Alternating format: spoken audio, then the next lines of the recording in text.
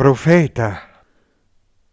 Ho letto che Abacuc, 626 VI secolo a.C., fu l'ottavo dei dodici profeti minori raccolti nella Bibbia ebraica ed è venerato da tutte le chiese che ammettono il culto dei santi.